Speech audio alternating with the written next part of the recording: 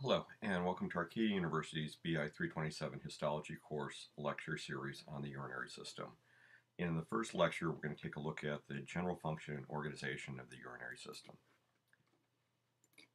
As with all of these um, different lecture series uh, on the different topics of histology, uh, take a look at the objectives that are posted on the website uh, to get an idea what are the important concepts associated uh, with the topic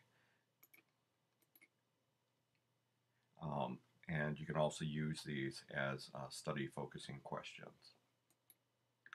Now, if we take a look at the urinary system, um, take a look at the organs associated with it, uh, the primary organ is going to be the kidney, and the kidney is going to be a paired organ. Uh, they're going to be located retroperitoneally, so they're going to be located essentially at the posterior wall of the abdominal cavity, and um, they're going to be kind of a kidney bean shaped uh, structure and about 10 centimeters in length. And as we're going to see over this series of lectures, the urinary system and the kidney primarily uh, is going to be very important for uh, filtering materials out of the blood. And you can get an idea about the, the importance of this function uh, if you take a look at two kind of trivia type things associated with it. But again, it emphasizes the importance of the kidneys.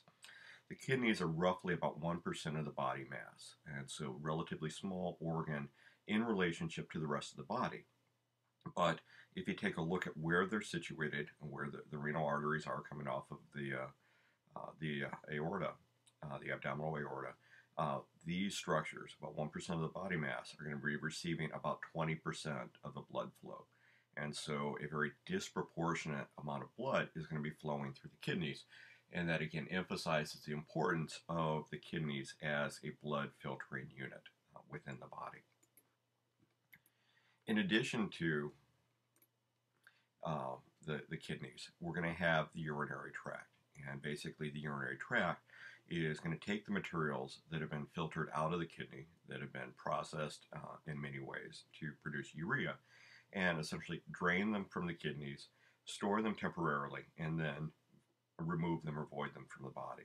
And so the urinary tract is going to be composed of the ureters, which in essence are going to be involved with draining the, the, the kidneys. So they're going to be collecting the urine, um, transporting it into the urinary bladder. Urinary bladder is going to be a distensible or essentially a, a structure that is able to expand as it fills. Uh, and so it's going to be temporarily storing uh, the urine. And then it's going to have a muscular wall associated with it so that you can constrict this urinary bladder, constrict this distensible organ uh, essentially compress it down and squeeze out the urine from this temporary storage location. When that's occurring, the urine is going to be flowing through the urethra and essentially voided or removed from the body. Now, if we take a look at the general functions associated with the urinary system, as we said, the primary function is going to be involved with filtering blood. And so we're going to be taking uh, small molecules, metabolic waste, foreign substances that are in the blood, and essentially remove them, uh, keeping them at a low enough concentration so they're not going to build up to be uh, harmful or disease causing agents within the body. And so you want to maintain a balance uh, that's appropriate uh, by removing these waste products. The second function, again, kind of related to filtering the blood, is that it's going to regulate the ion, the salt, and the water concentrations of the fluids in the body. Again, keep in mind, as we've described this previously within the course, we know that the cardiovascular system is transporting fluids throughout the body.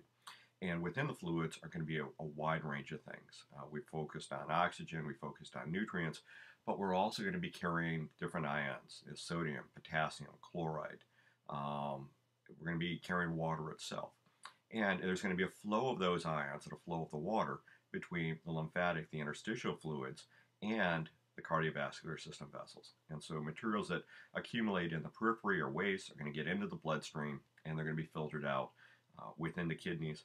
The ions are going to be regulated within the bloodstream, and by doing that, that's going to regulate the ion concentrations within the tissue fluids within the body. Additional functions associated with the urinary system are going to be things like the production of renin and erythropoietin. Renin is a factor in regulation of blood pressure and erythropoietin is going to be a factor in control of red blood cell formation. And so again, kind of related to uh, this function of regulating what's occurring within uh, the cardiovascular blood system. Now, if we focus in on the kidney itself, what we're going to see is it's going to be an organ which is encapsulated with a dense connective tissue uh, capsule around the outside. If we look in at the internal structures, what we're going to see is that there's going to be a renal sinus, and this is, uh, if you remember concave, this is uh, the kind of uh, indented region. The medial concavity is the indented region uh, within the kidney. And this is going to be the region which contains the renal pelvis. And the renal pelvis you can think about as almost being uh, an extension or a funnel at the end of the ureter. And so that's going to be the location where we're going to be collecting the urine that's pr produced within the kidneys and then draining it into uh, the ureter. This region is also going to be the location where we're going to have blood vessels entering and exiting, as well as nerves uh, that are going to go through and innervate uh, regions within the kidney, uh, as well as adipose tissue within the region. Uh, the hilum is going to be a region that's anatomically describing the region of the renal sinuses and all the structures, all the contents within this region. We take a look at this. The, the uh, kidney is going to be uh, organized into a cortex around the outside and an inner uh, medulla region. The cortex of the kidney is going to be underlying the capsule, and it's going to be a darker staining region. Uh, if you take a look at it, the structures, and we'll talk about these structures in much greater detail uh, over the next series of lectures, are going to include the renal corpuscles, which are going to be renal capillary beds involved with filtering the blood, proximal and distal convoluted tubules, and so essentially uh, tubules that are going to be draining uh, the renal corpuscle systems uh, and processing uh, the materials as it's going through, modifying, changing uh, the concentration of ions and solutes that are within the fluid medullary rays, which are going to be straight tubules, which we'll talk about uh, later on in this course, as well as peritubular capillaries. Capillaries, in addition to uh, the capillaries within the renal corpuscles, but capillaries that are going to be found around those proximal and distal convoluted tubules and involved with carrying materials either to the tubules or away from the tubules that have been processed by the cells lining the proximal and distal convoluted tubules. The medulla, the inner region of the kidney, is going to be a, a lighter staining region. and this is going to be found underlying the cortex and partly surrounding the renal sinus. And when we take a look at this, we're going to see many more uh, tubules and ducts. And so we're going to see essentially uh, epithelial line structures uh, as a series of tubes, in essence, within the medulla. We look at this at a gross anatomical level. Uh, we're going to have some medullary pyramids, which are larger structures. Uh, and you can think about these as pyramids with uh, the apex, which is going to be pointed down towards the renal sinus. Um, it's the apex of the pyramid is going to be called the renal papillae, but essentially that's going to be the drainage location for that region within the kidney, and it's going to dump the urine into the renal sinus. The base of the pyramid is basically going to be going up and contacting um, the junction between the medulla uh, and the cortex. Medullary rays that we talked about before are essentially going to be straight tubules. Uh, they're going to be collecting tubules and collecting ducts, and we'll talk about the function of these later on. But they're going to be organized instead of convoluted or twisted, like the proximal and distal convoluted tubules. These are going to be straight tubules, and so they're going to look, uh, and the pointer on this histological slide to the right is pointing at uh, a medullary ray. Instead of the kind of twisted profile, lots of different orientations of the profiles of the tubes we're going to have throughout a major region of the cortex. The medullary rays are going to be straight tubules, and these are going to look very similar to what we'd see uh, within the medulla before. Uh, and so that's why they're called medullary rays, because they're essentially extending up into the cortex, but they look to be very similar in appearance to the medulla itself. Now, the medullary ray is going to be the center of what's referred to as a renal lobule. And so we talked about renal lobes in the previous slide as an extension of the pyramid.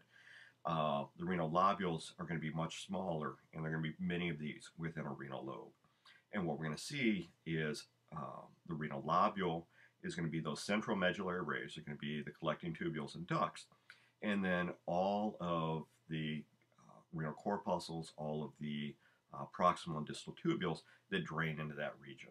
And so the medullary ray is going to be at the center, and then some of those twisted tubes and some of those larger, uh, you can see it, uh, these uh, renal corpuscles here um, and the glomeruli uh, that we'll talk about in the next slide, all of these that drain into uh, a central medullary ray are going to be a portion of one of these renal lobules. Now again, if we take a look at this, uh, this is another way of, of looking at it. Uh, we're going to see a portion of the kidney, and so we've got the cortex around the outside, we've got the medulla kind of towards that inner region. Within the medulla, we're going to have straight uh, tubules and straight ducts emptying into the renal sinus, ultimately draining into uh, the ureter uh, over here. Uh, you can see this kind of pyramid-like structure, uh, so the base of the pyramid here, extending into the apex, which is going to dump into the renal sinus. And so again, this is an extension of those renal lobes. The renal lobules would be a much smaller extension, uh, like we've got up here uh, with the arrow, uh, which is going to extend down and then drain into and through um, these straight tubes within the renal lobe.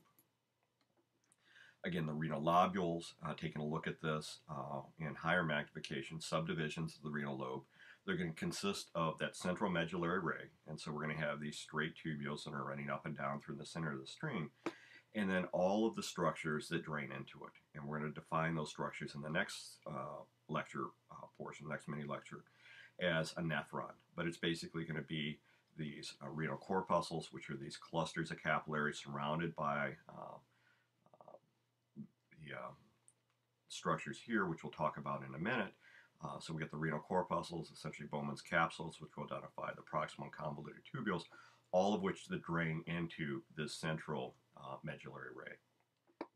At the edges of this, uh, we're going to have interlobular arteries and veins, which may be difficult to uh, identify without specialized stains and special staining techniques. Uh, but we recognize them there. Again, interlobular arteries and veins are going to be either carrying blood into the region where they're going to be filtered by these capillary beds that we're going to be talking about, or the veins draining uh, from that region. This is going to finish up our, our overview of the urinary system. Uh, in the next lectures, the next series of lectures, we're going to start looking at the filtering mechanism itself and the specific anatomical and physiological uh, characteristics of different regions uh, within the kidneys, the ureters, the urinary bladder, and the urethra. As always, if you have any questions, feel free to email me at hoffmanj at arcadia.edu. Thanks, and come back for part two of our urinary system lecture.